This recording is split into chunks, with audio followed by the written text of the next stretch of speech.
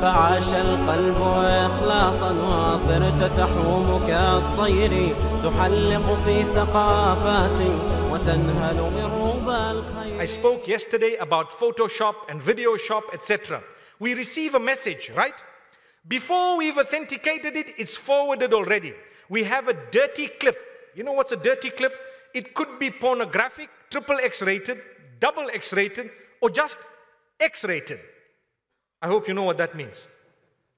And what we do is we laugh because it was just a joke. And we forward it to someone and they forward it to another person, not realizing it was so sinful because it had in it immorality. Don't spread it.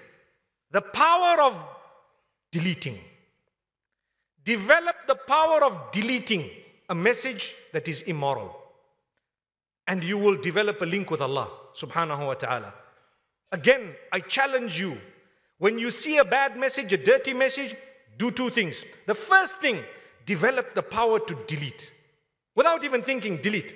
The second thing, you need a little bit more power to do the second thing, and that is send a message to the sender to say, please don't send me such messages. Done. Done. If you're ready to do that, your link with Allah is polished up. You have saved yourself from great calamity and disaster. But you need to know this. My brothers and sisters, listen to the verse. People were spreading tales and they like to spread things. How this person committed adultery. You know what she did? She went here, she went there, and he did this and he did that, and they got together at this place and they did this, and that one did this to this one. And all immoral stories, Allah says, it's not good enough. It's not the sign of a mu'min. Listen to the verse. Verse number 19 of Surah An-Nur.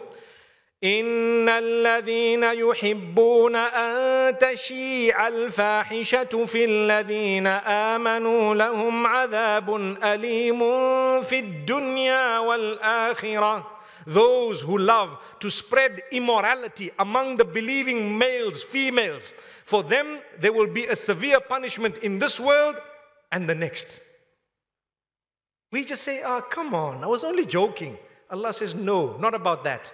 You joke, but there are limits to joking. May Allah subhanahu wa ta'ala bless us all.